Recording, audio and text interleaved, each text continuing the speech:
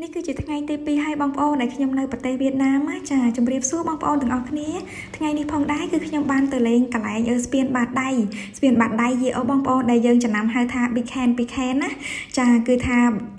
បានណាហៀលនឹងឯងបងប្អូនរិសាតំបន់ទីនោះគឺជាតំបន់បណ្ដុំទៅដោយទេសចរអញ្ចឹងណាចាប៉ុន្តែរិសាថាពីល្ងាចមិញហ្នឹងគឺថាមករៀងងឹតពេកអញ្ចឹងបានមើលភូលក៏ឆ្លៀតមើលភូលបន្តិចទៅលើដបូលផ្ទះអោះដបូលផ្ទះច្រឡំដបូលកន្លែងគេហ្នឹងណាចាហើយខ្ញុំជួលម៉ូតូគេបងប្អូនរិសាខ្ញុំជួលម៉ូតូគេអញ្ចឹងទៅយើងចំណាយតិចណាចាគឺមួយថ្ងៃយើងជួលអស់តែ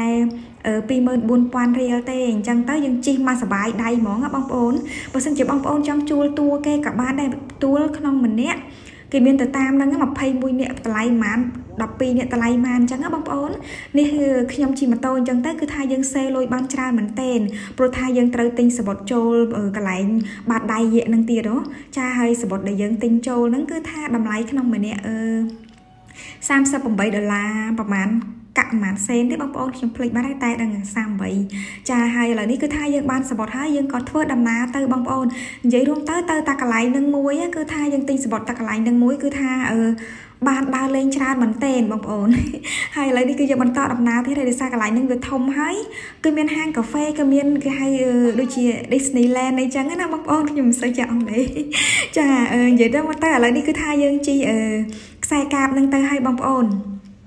ដូចក្នុងរឿងចិនអញ្ចឹងគ្រាន់ថាខ្សែកាបនេះគឺថាវាមានក្លុបដើម្បីការពារយើងអញ្ចឹងបងប្អូនចាខ្ញុំមិនដឹងថាគេហៅអីផ្សេងទៀតទេខ្ញុំហៅខ្សែកាបអញ្ចឹងហ្មងណាងាយស្រួលណាចានិយាយពីថាសបាយអមែនតើបងប្អូនដោយសារតាតាពេលជិះទៅណា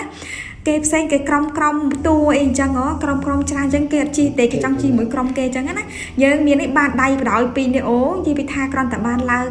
លើនឹងបាន2នេះភ្លាមនិយាយពីថាសបាយមែនសបាយត្រង់ថាបានមើលទេសភាពហើយស្ដាប់ភ្លេងគេដាក់ music relaxing នៅនឹងដែរបងប្អូនហើយមើលទេសភាពនិយាយពីថាសបាយមែនទែនជាពិសេសគឺថាយើងសបាយថតបត់បែនមិនគឺថាទៅតាមចិត្តយើងហ្មងណាបងប្អូនអត់មានខ្លាចចិត្តអ្នកណាទេព្រោះថាមានតែ2នាក់នឹងឯងចាហើយឥឡូវនេះគឺថាយើងមកដល់ Disneyland នឹងហើយបងប្អូនដូចក្នុងរឿង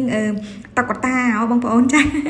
ឡូវនេះគឺថាមិនមែននៅអឺរ៉ុបអីគេទេនៅអាស៊ីយើងនឹងឯងចានៅប្រទេសវៀតណាមនៅដាណាងនឹងឯងហើយនេះគឺជាលើកទី1របស់ខ្ញុំខ្ញុំមានអារម្មណ៍ថាសប្បាយចិត្តមែនទែនបងប្អូនចាហើយនេះគឺថាយើងបានដើរជុំវិលនឹងបន្តិចហើយយើងក៏បន្តដំណើរទៅមួយទៀតបងប្អូន ចាទៅកន្លែងស្ពានបាតដៃនឹងឯងចាព្រោះថាគេមានអឺ ជីអាស្អីគេនេះទៅទៀតចឹងណាខ្សែរ៉ោតទៅទៀតចឹងខ្ញុំហៅចឹងណាបងប្អូនសូមអធិស្ឋានផងបើសិនជាខ្ញុំហៅខុសអីចឹងណាចាហើយឥឡូវនេះគឺជីហ្នឹងគឺថាមួយផ្លេតទេអត់យើងអត់យូរដូចពេលយើងឡើងមកឯងបងប្អូនចានេះគឺថាគេមានតាមតំបន់គេរៀបចំភ្នំនឹងមួយចឹងគឺថាមានប្លុកនេះប្លុកនោះចឹងណាបងប្អូនហើយឥឡូវនេះគឺខ្ញុំមកប្លុកស្ពានបាត់ដៃយៈនឹងឯងបងប្អូនហើយនិយាយពីថាមនុស្សវិញដូចផ្សារលក់ត្រីអញ្ចឹងឡើងអ៊ូអមានភ្ញៀវអាស៊ីភ្ញៀវអឺរ៉ុបហ្មងណាបងប្អូនចាហើយកន្លែងនេះវិញគឺថាមនុស្សច្រើនពេកឡើងចង់ពុលអញ្ចឹងទៅខ្ញុំក៏ត្រឡប់មកកន្លែង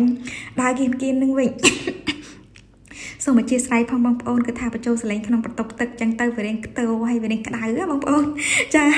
ហើយឥឡូវនេះគឺថាខ្ញុំនេះដើរមកហើយមេឃគឺថារោភ្លៀងតែម្ដងបងប្អូនហើយចាខ្ញុំទៅកន្លែងព្រះបន្តិចបងប្អូនស្រាប់តែភ្លៀងដាក់ចាប់ដើមដេញមកបងប្អូននេះយើងជ្រកភ្លៀងសិនទៅហើយឥឡូវនេះគឺថារៀងភ្លៀងបន្តិចហើយយើងក៏បន្តដំណើរបន្តិចនេះដោយសារតែភ្លៀងចឹងទៅទៅមានអឺ ភ្ញៀវទេសចរគាត់ដើរមកបន្តិចរៀងចន្លោះមានផ្លូវដើររៀងច្រើនបន្តិចបងប្អូនចាអញ្ចឹងទៅគាត់ថាឆ្លៀតថតខ្លះឈៀតអឺផុសវីដេអូមានណាភ្លៀងដេញបដ ாய் បងប្អូនមើល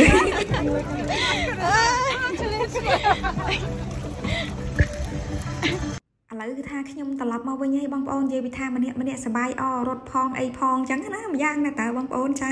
ហើយឥឡូវគឺថាពួកយើងទិញអាយភ្លៀងម្នាក់មួយទៅដើម្បីគឺថាដើរ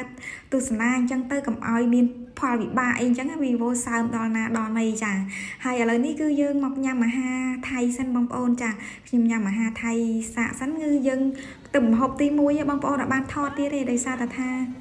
ដើររៀងហេវអញ្ចឹងពឺតយកពូតយកហើយបន្ទាប់ពីពឺតយកហើយអង្គុយមកសន្ទុះថោមឡើងចិត្តកន្លះម៉ោងបងប្អូននេះ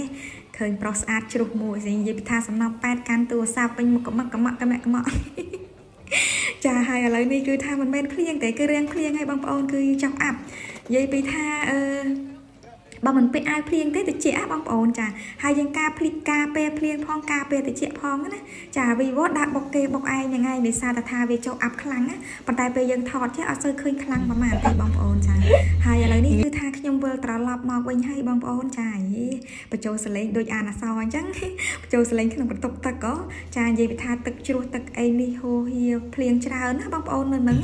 ព្រោះថាសម្បូរទៅដោយដើមឈើនិយាយថាទេសភាពស្រស់បំព្រងមែនទែនបងប្អូននិយាយរួមទៅមិនសរសើរទេ គឺថាមិនសរសើរគឺមិនបាន គឺថាឥឡូវគឺយើងបាយបាយហើយបងប្អូនដោយសារតែការរៀបចំរបស់គេនឹងគឺស្អាតចឹងណាបងប្អូនចា